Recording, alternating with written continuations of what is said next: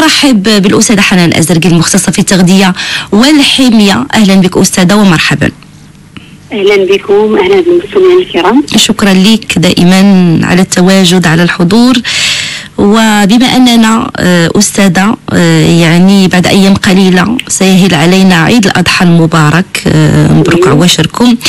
فكنعرفوا بأن عيد الأضحى يعني هو عيد يعني من غير الجانب الروحي والديني فهو يعني المبدأ ديالو هو شراء اللحوم سواء الأضحية أو لحوم أخرى اللي آه، كتمشي في التوجه ديال الصحة ديالنا أو لتغيير كذلك مذاقات الأطباق ديالنا لحم البقر ولحم ديال الماعز.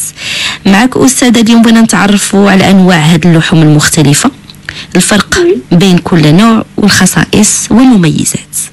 d'accord donc كيما قلت الاخت جيان حنا معاك في ربعه عيد الاضحى راه كنشري واحد كاين الناس اللي كيميلوا فاغ الخروف ولا كاين الناس اللي كياخذوا لحم الماعز كاين الناس اللي كياخذوا لحم البقر donc هنا حنا اليوم غنهضروا على الخصائص الغذائيه لكل نوع من اللحم donc حنا بالنسبة للحوم الحمراء en général هي عباره عن لحوم اللي كتجيب لنا بروتينات من ذات جوده عاليه ملي كنهضروا على البروتينات ذات جوده عاليه يعني كتجيب لنا الأحماض الامينيه الأساسية اللي يحتاج لها الجسم كاملة. يعني ملي كناخذ مثلا لحم البقر كيجيب لنا كمية ديال الأحماض الامينيه الأساسية اللي كيحتاج لها الجسم باش يكون لنا العضلات ديالنا نعم. d'accord donc الاختلاف بالنسبة للبروتينات بالنسبة للحم البقر ولا لحم الغنم ولا لحم الماعز هو ما كاينش اختلاف كثير من حيث الكميه ديال البروتينات اللي كيتوفر عليها هاد العناصر الغذائيه نعم فقط فرق قليل جدا ديال هو ديال الجرام مثلا الا جينا نهضروا على لحم البقر يساوي لنا على 27 غرام مثلا ديال البروتينات كل 100 غرام كل قطعة فيها 100 غرام لنا 27 غرام ديال البروتينات مثلا لحم الخروف لنا 26 غرام. يعني ماشي شي فرق اللي هو كثير جدا. d'accord donc بالنسبة للسكريات السكريات هذا هو هذه النقطة اللي بغيت نركز شيري ليها. اييه آه السكريات كاع اللحوم. ما كاينش شي حاجات من السكريات كاين zéro gramme de sucre. ما كاينش.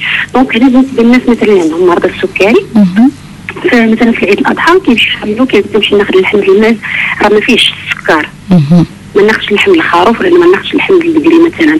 هذا غلط كبير. راه ما كاينش فيه السكر بتاتا بامكانهم ياخذوه حنا علاش كنركزوا؟ مثلا بالنسبة للمرضى اللي السكري بالنسبة للحوم الحمراء اللي في الخروف كنركزوا لأنه كيحتوي على كميات وافرة من الدهنيات. الدهنيات. نعم. نعم. الدهنيات كيحتوي لنا مثلا 100 غرام كتجيب مثلا 50 غرام ديال الدهنيات. وهي كميات اللي هي كثيرة جدا. ولا جينا نشوفوا مثلا لحم البقر مثلا كيجيب لنا كمية اللي هي أقل لنا 15 غرام مثلا. ديال الدهنيات دونك هنا بالنسبة للحم لحم الخروف في كميات اللي هي وافرة. هي الدهنيات والنوع ديال الدهنيات اللي كيكون عندنا في هذه اللحوم الحمراء هي الدهنيات المشبعة. ملي كنهضروا على الدهنيات المشبعة يعني الدهنيات اللي هي ضارة. خص واحد الكمية فقط اللي يجيبها الجسم ديالنا. نجيبوها ديال 10% ولكن نعم. حنا في عيد الأضحى مع حسب العادات الغذائيه اللي كتختلف من منطقة لمنطقة نعم. ومن عائلة لعائلة. الناس اللي كياكلوا اللحم في طول زعما يوم يوميا toute la journée من الصباح للمساء donc هنا كيجيبوا كميات اللي هي وافرة من الدهنيات. donc هنا بالنسبة للناس اللي عندهم مرض السكري راه ما يكونش فقط عنده مرض السكري. كيكون كذلك الكوليسترول كيكون هناك des complications مثلا بحال الكوليسترول بحال الدهون الثلاثية اللي هي triglycérides وكيكون كذلك الضغط الدموي. واللحوم الحمراء كتجيب لنا كميات وافرة من الصوديوم. نعم.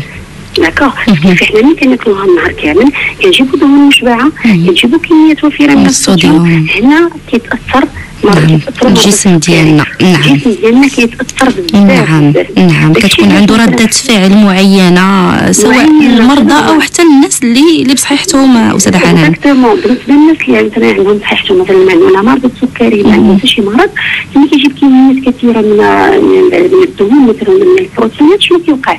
الجسم ديالو surtout الجهاز الهضمي كيدير واحد المجهود اللي هو كثير اللي ما مولفوش نعم. surtout اللحوم ملي كنهضروا على اللحم كنهضروا على بروتينات حيوانيه يعني كتحتاج واحد الوقت من الهضم كنهضروا على بروتين كنهضروا على الدهنيات. نعم. ملي كنهضروا على الدهنيات راه الدهنيات كتحتاج حتى 12 ساعات ديال الهضم حنا كنجيو في الصباح كناخذوا دهنيات كناخذ ديك اللحم كنجيبوا البروتينات الدهنيات.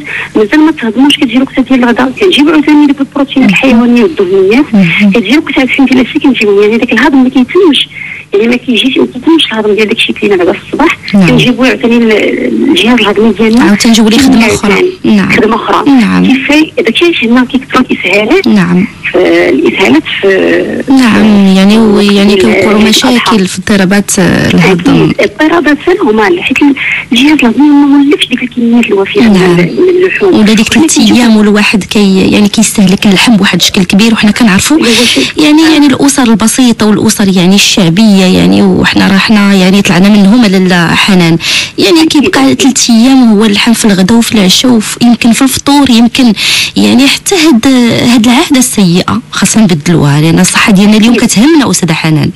أكيد أكيد. والمشكل فقط ماشي زعما فقط كنجيبوا الدهنيات اللي هي مشبهة. نعم. ما نساوش الكوليسترول اللي نعم. كيكون كذلك في اللحوم. نعم. مثلا ملي كنهضروا على اللحم ديال البقر كيجي 190 ملغ مهم. ديال ديال ديال الكوليسترول.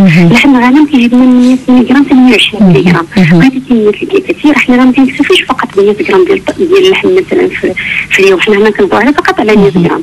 يعني مثلا حنا في في, في العيد مثلا غنجيبوا كميات اللي هي كثيرة من اللحم. نعم، يا صحيح، نعم. يقدر ياكل ياكل حتى الكيلو نعم. كيلو ونص ديال اللحم نعم. اللي جينا نحسبوها يعني نقدروا نجيبوا حتى 1000 ملغ. وحنا شحال الحاجات ديال الجسم ديالنا من الكوليسترول نعم. ما كتعداش 300 ملغ في اليوم نعم d'accord هنا فاش كيتصابوا الناس كن- كنلقاو دائما دائما فترة العيد كي- في المستشفى كتكون l'hospitalisation الناس بزاف. كيكونوا hospitalisés في في فترة في هذه علاش؟ هذه. أكيد آه، في هذه الفترات كيكون نعم بالنسبة استاذه حنان الناس اللي كياخذوا اللحم ديال العجل أو اللي كيذبحوا العجل oui هذا راه c'est la même chose كما قلت لك بحال بحال ما كاينش فرق يعني فاش كتختلف الكمية في البروتينات. الكمية في الدهون وفي البروتينات نعم السكريات ولا مشاكل الحديد ولا نعم. مشاكل الاملاح المعدنيه ولا نعم. الفيتامينات نعم. مشاكل الحديد كلهم كيجيبوا لنا تقريبا نفس الكمية كتختلف بواحد 0.5 يعني اللي ما كاينش الاختلاف الاختلاف كاين في الدهون. وكميه الكوليسترول اللي كيحتوي عليها. كل عنصر نعم. والعنصر وال- واللحم الغنم هو اللي كيجيب لنا كميات كثيرة من الكوليسترول. دابا مثلا هضرنا على اللحم الميت شحال كيجيب لنا كاع ديال الكوليسترول كيجيب لنا واحد الكمية اللي هي بسيطه ديال 75 ملغ ديال الكوليسترول. واختلاف ديال الدهون كذلك حسب القطعة في اللحم نعم. مثلا نهضروا على الضلعة ماشي ديال ماشي هي الظهر الخروف ماشي هي الرقبة ماشي هي من كل طرف مثلا في, في الخروف عنده يعني نسب. نسب تتفاوت. نعم في البروتينات والدهنيات. نعم.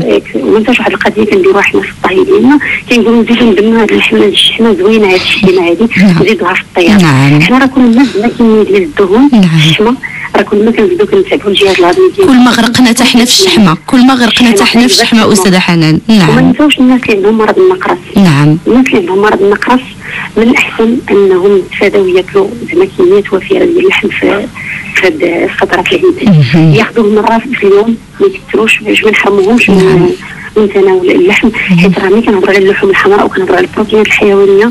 automatiquement كنهضروا على الارتفاع ديال l'acide urique.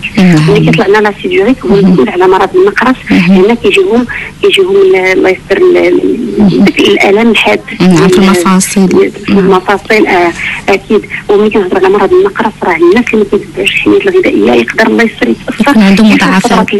يكون عندهم مضاعفات. راه كيكون عندهم مضاعفات كيقدروا يقسموا الكلاوي ديالنا نعم. يقدر يولي عندنا الحجر في الكلاوي إلى غير ذلك donc شنو كنصحوا نعم. غادي تاكلوا اللحم. ولكن دائما نردوا البال لطريقه الطهي طهي. وطريقه الطهي الصحيه واللي غادي نحدثوا عليها إن شاء الله. تماما. إن شاء الله. بإذن الله.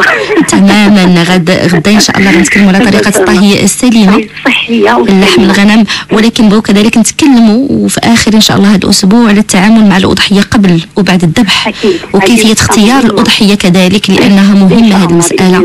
إن شاء الله. معك. أستاذة حنان أزرقي. شكرا لك. على التواصل إلى الغد.